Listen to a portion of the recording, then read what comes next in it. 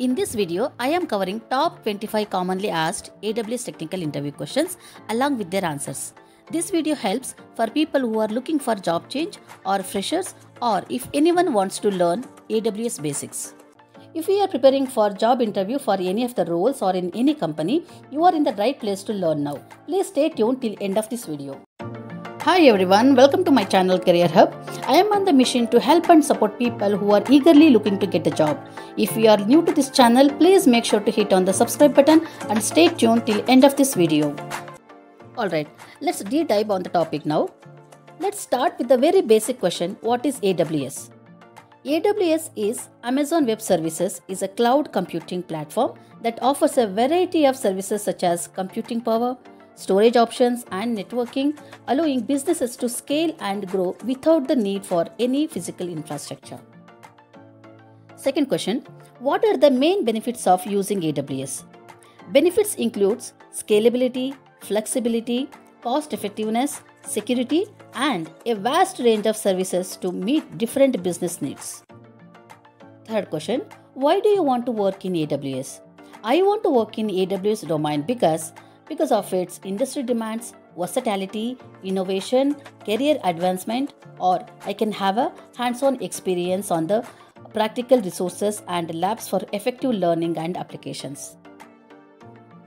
Fourth question is What is EC2 in AWS? So, EC2 is nothing but Elastic Compute Cloud. It is a web service that provides resizable compute capacity in the cloud allowing users to run virtual servers and manage workloads. Question number 5 What is S3 in AWS? Amazon S3 is Simple Storage Service. It is a scalable object storage service used for storing and retrieving any amount of data at any time from anywhere on the web. Question number 6 What is an IAM role? So, IAM is here identity and access management roles which are used for AWS identifies the specific permissions that allow users to perform actions on AWS resources without needing to manage long-term credentials.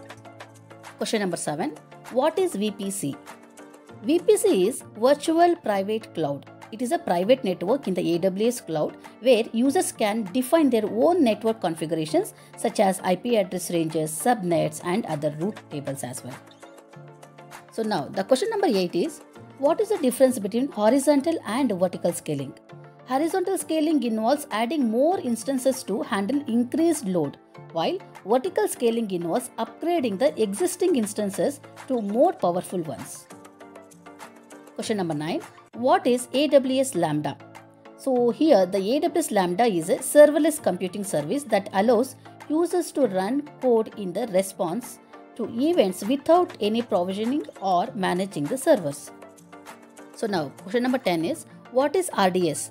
So RDS is relational database service. It is a managed relational database service that supports multiple database engines like MySQL, PostgreSQL or Oracle providing easy setup, operations and scalability. So question number 11 here is what is the difference between S3 and EBS? Here Amazon S3 is an object storage service ideal for storing and retrieving any amount of data, while EBS, that is Elastic Block Store, it is used as a block storage for EC2 instances. Next, question number 12 What is Cloud Formation? AWS Cloud Formation is a service that allows users to define and provision AWS infrastructure as code using templates, enabling automation and consistency in resource management. Next, question number 13 What is AWS auto scaling? So, here AWS auto scaling helps ensure that the right number of Amazon EC2 instances are running to handle the load of your application by automatically adjusting the capacity. Question number 14 is What is Route 53? So, Amazon Route 53 is a scalable and highly available domain name system that is DNS web service designed to route end users to internet applications. Next, question number 15. What is a security group in AWS? A security group acts as a virtual firewall for your EC2 instances, controlling inbound and outbound traffic based on the specified rules. Next is question number 16. What is the AWS shared responsibility model? So this model outlines the security responsibilities of AWS and the customer. AWS manages security of the cloud infrastructure, infrastructure while customers manage security in the cloud that is data protection, access control, etc. Question number 17. What is the difference between a public and a private subnet? A public subnet allows direct access to the internet while a private subnet does not. Instances in a private subnet cannot communicate directly with the internet. And question number 18 What is an elastic load balancer that is ELB? An ELB automatically distributes incoming application traffic across multiple targets such as EC2 instances to ensure availability and fault tolerance.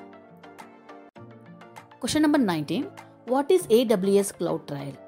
AWS CloudTrail is a service that enables governance, uh, compliance, and operational and risk auditing by logging AWS API calls and resource changes.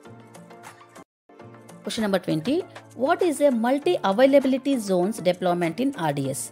A multi AZ deployment provides high availability by automatically replicating the databases in a standby instance in a different availability zone.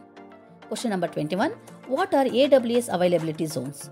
Availability zones are isolated locations within a region that provides redundancy and fault tolerance, helping to ensure high availability and applications. Question number 22 What is AWS Elastic Beanstalk? AWS Elastic Beanstalk is a platform as a service that is PaaS that makes it easy to deploy, manage, and scale web applications and services without worrying about the underlying in- infrastructure. Next question is What are AWS tags?